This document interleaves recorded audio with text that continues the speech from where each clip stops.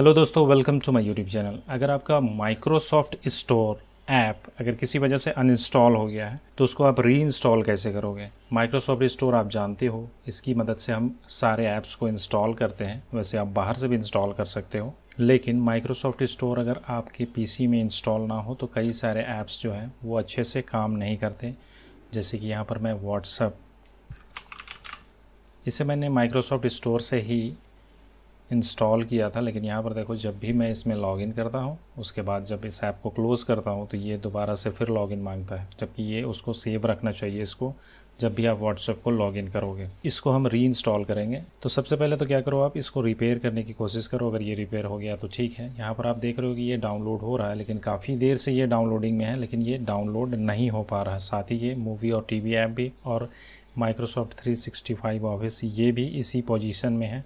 तो चलो इसको रिपेयर करने की कोशिश करते हैं। सबसे पहले तो माइक्रोसॉफ्ट स्टोर पे आप राइट क्लिक करो। मोर ऑप्शन में जाओ। ऐप सेटिंग में जाओ। और यहाँ पर सबसे पहले आपको इसे टर्मिनेट करना है। अगर वो बैकग्राउंड में रन कर रहा हो तो। उसके बाद इसको रिपेयर करो।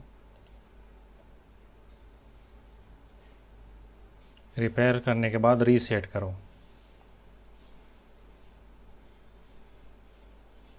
इसके बाद एक बार ट्राई करो, देखो माइक्रोसॉफ्ट ऐप स्टोर आपका ओपन होता है नहीं, या तो फिर इसमें कुछ चेंजेस आए कि नहीं, ये डाउनलोडिंग में अभी भी है, अभी भी ये ठीक नहीं हुआ है, इसको ओपन करने पर ये ओपन नहीं हो रहा है। तो इतना सब करने के बाद भी अगर आपका ये ठीक ना हो तो फिर आपको विंडोज़ पे राइट क्लिक करो और यहाँ से आप विंडोज़ पावर सेल एडमिन पे इसको रन करो। यस करो यहाँ।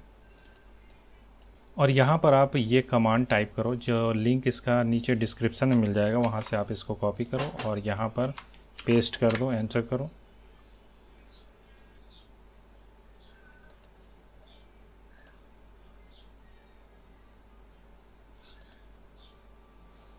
और अब आप देखोगे कि माइक्रोसॉफ्ट ऐप स्टोर ये आपका इंस्टॉल हो जाएगा। ओके तो ये छोटा सा एक वीडियो था जिसमें आप माइक्रोसॉफ्ट स्टोर को कैसे री इंस्टॉल कर सकते हो, उसके ऊपर था। आई होप कि ये वीडियो आपको पसंद आया होगा। पसंद आया होगा तो लाइक कर देना।